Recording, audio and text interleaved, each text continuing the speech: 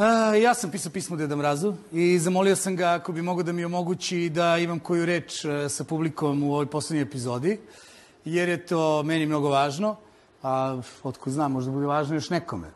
A, dakle, to je to pitanje od milion dolara zbog čega sam doneo odluku koju sam doneo. A, svi pišu da je zato što prelazim na drugu televiziju, nije. A, doneo sam tu odluku zato što mi je dosta. A, dosta mi je da glumim budalu ovde i da lažem sve vas da je sve normalno u ovoj zemlji. A, dosta mi je da budem dekor neke lažne slobode. A, dosta mi je da kad pogledate mene petkom pomislite eto sve je okej, okay. tu je Ivanović petkom ili ne znam tu je Kesić subotom, znači nema nikakvih problema. Ima problema i tu ima ozbiljnih problema. A, svaka šala koja je u ovom studiju izgovorena plaćena je skupo. A, većinu sam platio ja i moja porodica.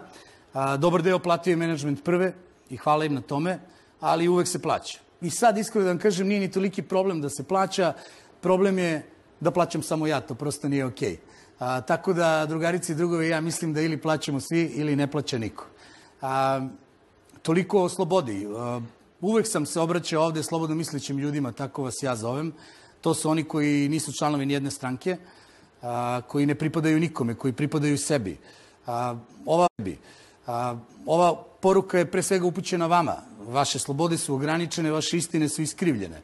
Ono što gledate i što slušate, to prosto nije to. A, prodajom prve, čini mi se da je poslednji prozorčić na nacionalnim frekvencijama kroz koji ste mogli malo da pogledate šta se dešava, zatvoren i na njega je spuštena roletna. A, ja sam ovo dugo radio misleći da imam neki viši cilj, da je bitno da te neke istine ovde ispoljim, ali sada nakon svega što se desilo, prosto morate da shvatite da mnogo toga dugujemo činjenici da je stranac bio vlasnik ove televizije. I to nam je omogućavalo da, da budemo ono što jesmo. Naravno, meni je sve eksplodiralo na konferenciji za štampu, a, čuvenoj sada već, na kojoj učestvuje predsednik države. Mislim da je njemu eksplodiralo malo ranije oko onog sviranja klavira i moja prva ali to sad i nije mnogo važno. Stvari su eksplodirale i otišle su predaleko. Otišle su predaleko zato što sve ono što se desilo na toj konferenciji za štampu ide duboko ispod donje crte mog dostojanstva. I onoga kako su me vaspitali moji roditelji i uopšte kako sam rastao i šta bi mi rekli moji drugovi i ostale neke stvari. Um, prosto mislim da ne možete tako da lažete bez ikakvih posledica i da se pravite ludi kao da se to nije desilo jer desilo se. Lagala je novinarka, predsednik je uskočio u tu laž i onda je posle imao čitavu epopeju ko su kukavice, ko su hrabri ljudi i tako dalje. Po mom skromnom mišljenju, kukavice su one koji se kriju iza drugih i koji nemaju hrabrosti da sami obave posao koji su naumili ili da sami ostvare ciljeve koje imaju. Tako da ja lično mislim da je veoma jasno ko je ovde kukavica. U svakom slučaju sebe ne vidim kao takvog, naprotiv. Prva je prodata, čitava ta transakcija koja se desila za mene je da kažem, dovoljno aromatična da ne želim svoje ime da stavim u sto. Dakle, zaista ne stojim iza toga, iza bilo čega što se tu desilo, niti mogu da stojim iza onoga što će se dešavati na ovoj televiziji u budućnosti. Ja iskreno verujem da ovde a, više nećete moći da uživate u slobodi, u kojoj zapravo nikad niste ni uživali, ako ste dobro skapirali o čemu sam pričao, ali bar u nekom prividu. Mislim da više neće biti ni toga. Od 1. januara je zvanično, faktički više ne postoji ni jedna potpuno slobodna nacionalna frekvencija. Tako da, teo bih da se zahvalim svim ljudima ovde s prve koji su radili sa mnom ovu emisiju, koji su trpeli šta su trpeli, nije bilo lako, ja sam užasan tip kada radim, kad ne radim onda sam sjajan. Ali zahtevam mnogo od ljudi, insistiram na profesionalizmu, tako da nikome ovde nije bilo lako da radi sa mnom, ali su ti ljudi radili više nego pošteno. Uh, osam godina, deset sezona, Svašta smo prošli zajedno, svašta smo doživjeli i svašta smo preživjeli. Hvala svima od čistačice do direktorke televizije, da ne bude da sam opet, kako god se zahvaljujem, nekoga zaboravim, pošto ih ima mnogo. Ali, ovaj, a, pre svega hvala mom timu, onom najužem krugu koji je sa mnom radio u emisiji, hvala mojoj porodici, a, koja je izdržala šta je izdržala. I prosto, kao što sam već rekao, dosta je. To je to. Vi treba da znate da je u suštini sve laž, da vas lažu svakog dana, imaju neke svoje razloge, imaju neke svoje pobude i razlog da se povučem je moj protest zbog takve situacije u srpskom novinarstvu i na srpskoj strane prve, to je trebalo da traje do juna i čekala me zaista masna otpremnina. Kad kažem masna otpremnina, mislim stvarno mnogo para. I ne mogu sada da vam kažem koliko je para, zato što je a, stvarno mnogo. Šalim se. Mislim, stvarno je mnogo. Međutim, ja sam onda ovako seo i razmislio sada, ako ja dozvolim da ta kampanja protiv mene, koja će da traje svaki dan, traje i traje samo da bih uzeo neke pare, onda na kraju ispada da sam ja, to je novi izraz, prestitutka. A ja verujem da u srpskim medijima ima, ima mnogo prestitutki i osim toga ne volim da pružam nikakve usluge tog tipa za novac. Tako da a, morao sam da odbijem tu ponudu i da donesem odluku koju sam doneo.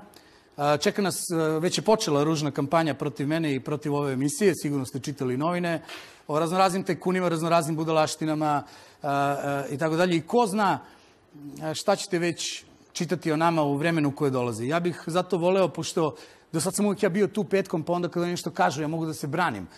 Sada mogu da se branim samo u svoja četiri zida, što bi rekao Palma. Tako da sam hteo da vas zamolim da nas pamtite po tome recimo da smo ovde za 10 sezona skupili negde oko 700-800 hiljada evra humanitarne pomoći.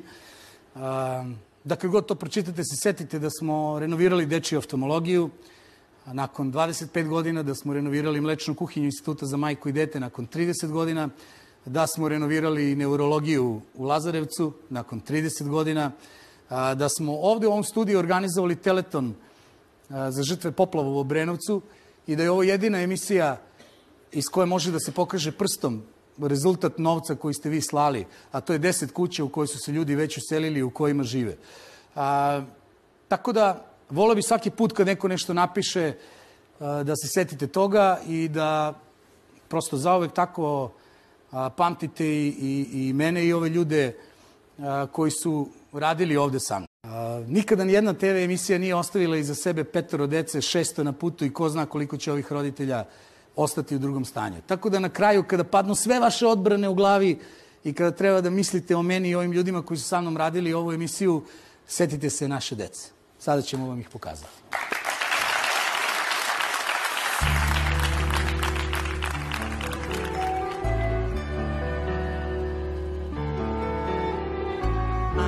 Od prve epizode u kojoj smo u saradnji sa Deda Mrazom ispunjavali želje, primili smo mnogo pisama od ljudi koji su želeli da se ostvare kao roditelji. Ovo je bio najveći izazov, ali je uspeh donosio najveće zadovoljstvo i radost. Već 2016. godine smo dobili prve klince. Porodica Ilić iz Novog Sada je dobila sina Ivana, a Aleksić iz Beograda čerku Unu.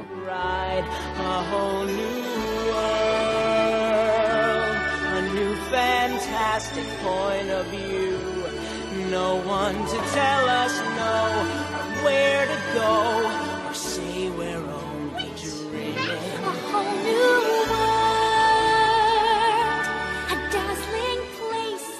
Sledeće 2017. godine Đorđevićima iz Kragujevca dolaze bliznakinje Sofija i Petra.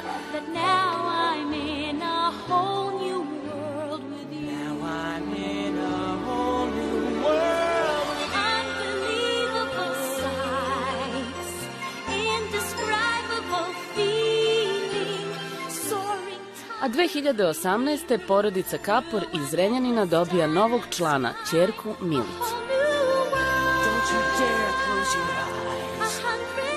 Mi smo porodica Kapor. 3. decembra Deda Mraz nam je doneo malu Milicu. Hvala puno svima. Hvala puno tebi Ivane. Hvala puno klinici Genezis, doktor Crnogorac, jer bez vas zaista ovo ne bi imali. Srećna nova godina i želimo svima da dobiju jednu bebicu kogod želi da postane roditelj.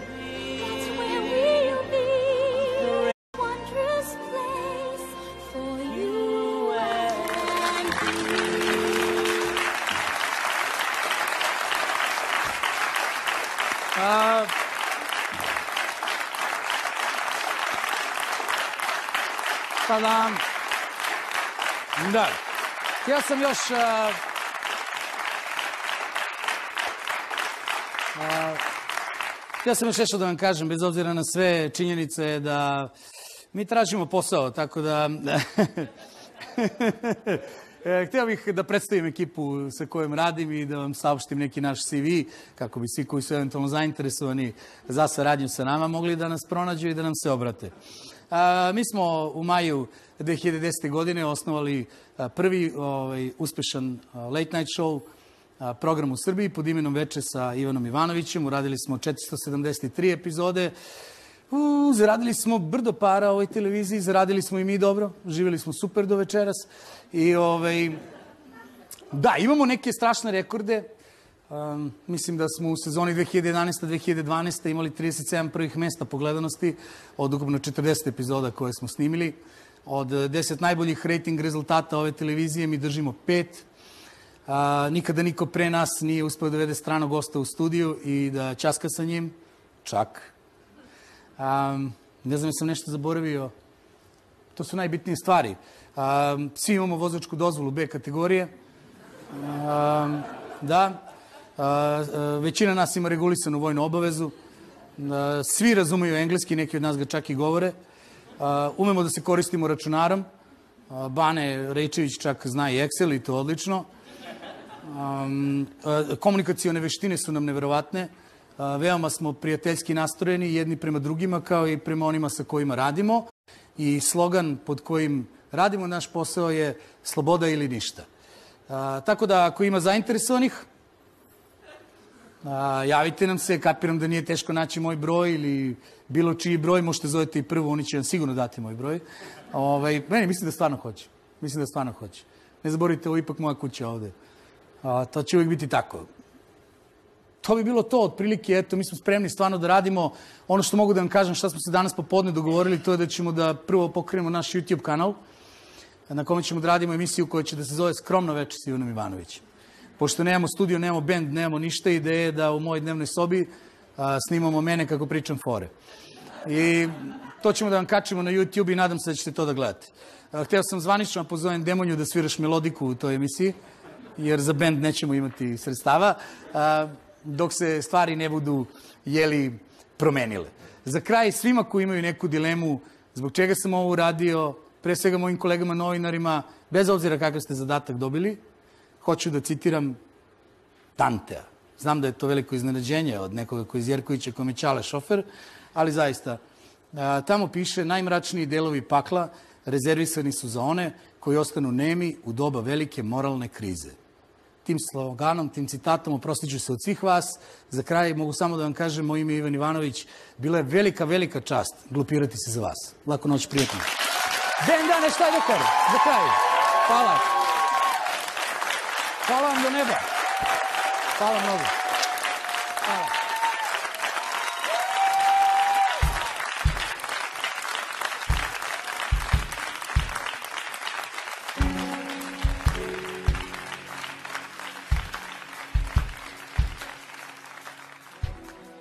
Cijeli život sanjam kako odlazim uz reku starim parobrodom koji